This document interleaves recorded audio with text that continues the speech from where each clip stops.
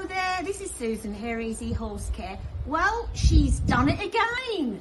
The amazing Elaine Sissons, believe it or not, with COVID and everything that's going on, she's managed to raise 743 euros. 743 euros. And how did you do it, Elaine? I did a fashion show on my urbanisation at Daniela's bar at Vista Bella Golf, Entre Naranjos. And lots of people came and there was another fundraising thing going on next door, but we beat them.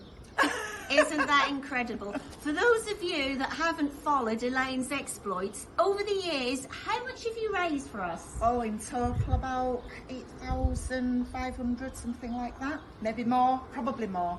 And quickly, just tell everybody these crazy things you've done every year. I've jumped out of an aeroplane, done a, yeah, so I've done a stand-up skydive, uh, I've done the Three Peaks, I've done the Yorkshire Three Peaks and the National Three Peaks, I've done the Tough Mudder, that was the really tough one, that was the worst one I've done.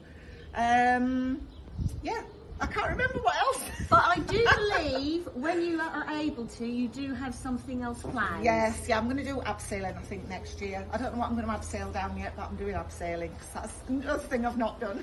So there you go, folks. This is the amazing Elaine Sissons. What an Thank incredible lady. Thank, Thank you. you. so much, Thank Elaine. you. Well, it's just a a worthy charity, Thank so you. every penny counts. Thank you.